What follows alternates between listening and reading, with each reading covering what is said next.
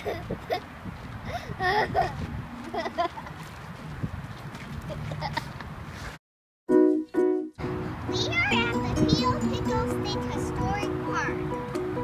is the final home of Pío Pico, the last governor of California under Mexican rule. We're going inside the Adobe Mansion.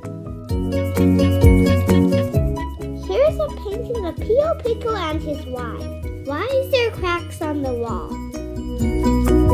We saw many antique items.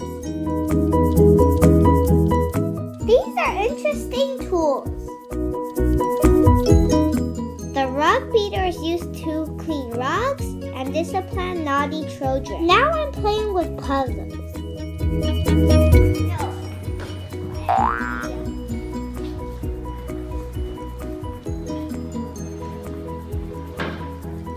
I'm going to try some old-fashioned games. I'm spinning the wheel with a stick.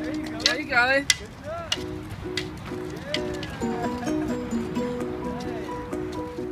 Now I am tossing a circle.